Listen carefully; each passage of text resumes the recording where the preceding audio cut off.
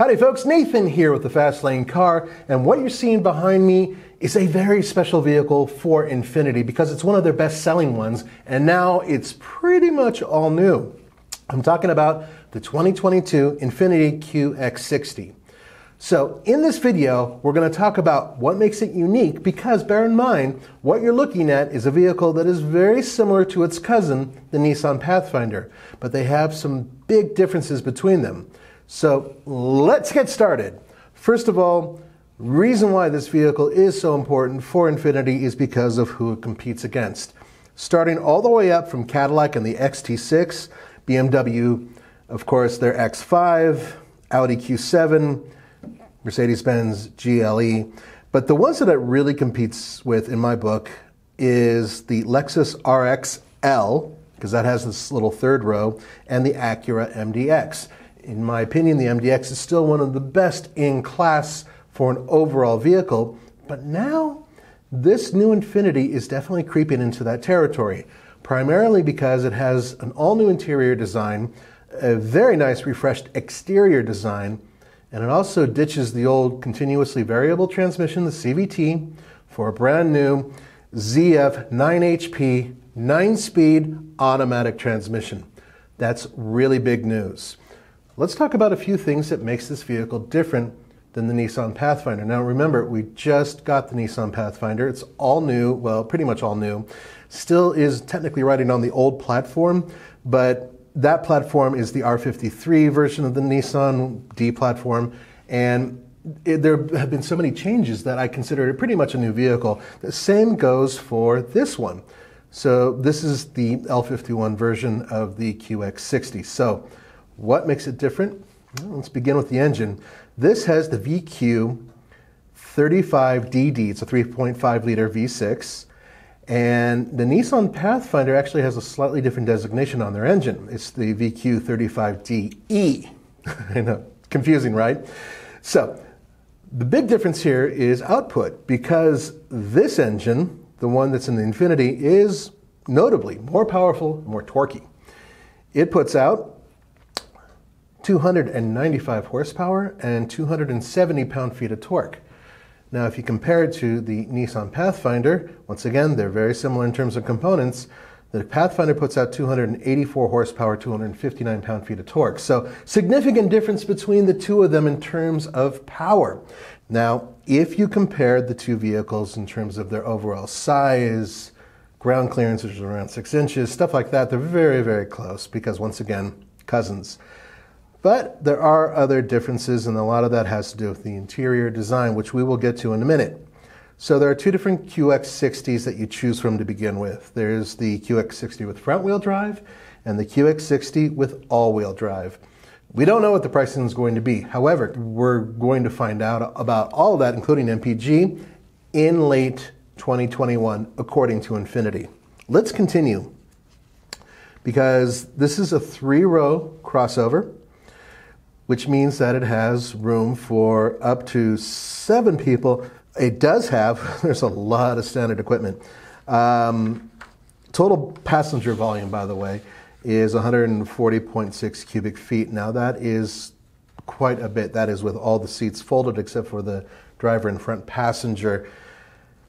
This vehicle has ProPilot Assist. Now, that is part of an option package. So is traffic sign recognition and smart rear view mirror.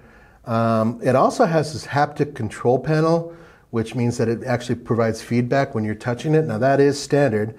Also, there's an optional Infiniti 12.3 inch dynamic meter display, pretty big, and a 10.8 inch head up display. That is huge for a heads up display. Power liftgate, standard, motion activated Hands-free power rear liftgate, not standard. 20 inch machine finished alloy wheels. I believe that's what we're looking at on this image behind me. Quite nice looking, but they don't appear to be standard. And then if you get the autograph, which is the very top of the line vehicle, you get the black contrast roof. So what you're looking at behind me is that vehicle. If you look very carefully, you can see the pillar going up and over is actually black. And that contrast. It's something that a lot of people are starting to do, either make like just part of the roof black or the whole roof black and sort of make a two-tone. And it works on certain vehicles and it doesn't work on others. On this one, I really do think it works because if you look at the rear, or sorry, the side view mirror, you can see that it actually has the two tone going on as well. It's actually pretty clever.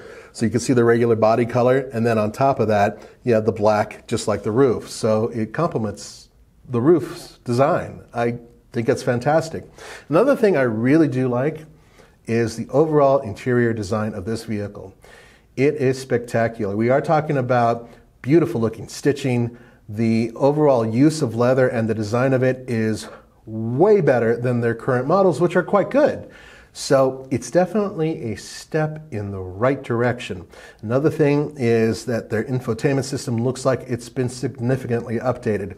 One thing that Infiniti has been trailing the competition with, with their current vehicles, has been their infotainment display systems and overall sound systems. I know that sounds strange because it's pretty damn good, but it could be better. Now it is. One example I will give you is that there is the availability of a 17 speaker stereo system. Now, why is that significant? Well, because the best you can get on the Nissan Pathfinder is 13. So that extra money goes into four more speakers, plus more power and more torque and more luxury, stuff like that. The interior design looks similar to the Nissan in terms of where the components are laid out. If you were to put them side by side, you would see, oh, okay, that's pretty much where these things go. And that's not such a bad thing because it's a logical setup, one that both Roman and I think is fantastic in that vehicle. So having that available in the QX60, that's huge. All right, let's continue with a few other things. Um, you will have uh, standard Infiniti Touch 12.3 inch interactive display touchscreen 12.3 inches is good. I think the new standard is about 12 inches. I know that sounds silly, but I think that most vehicles are trying to have that as their maximum. So 12.3 is quite good. Um, wireless Apple CarPlay compatible, that is standard.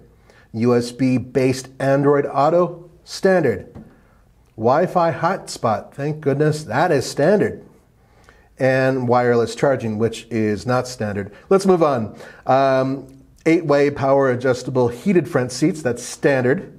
Uh, I talked about that second row captain's chairs. Now, it's exclusive on the autograph one, so those two row captain chairs are look like everything is covered in leather and then on top of that you have the stitching and piping, which is specific for, once again, the autograph one. So you get the really nice looking interior, similar to the one you're looking at right now. Also, there's a massage function for the driver and front passenger. That is not standard, but I wish it were. Uh, climate control for the front seats, heated second row seats. Well, there you have it, folks. We unfortunately do not have MPG numbers that are confirmed. We also do not have pricing. However, I did mention, of course, that it has the nine speed automatic transmission. That's an all new ZF transmission. That transmission, by the way, is standard, so there are no other ones. So even if you get the base model front wheel drive model, you'll still get that transmission. One final thing to note this vehicle, just like the Nissan Pathfinder, will be built in Tennessee, and we will have many more details available for it in late 2021. That is according to Infiniti. Thank you for, so much for joining me. This is Nathan for the Fastlane Car. Sorry for stumbling through this, but I think we got it all out there. I'll see you guys next time.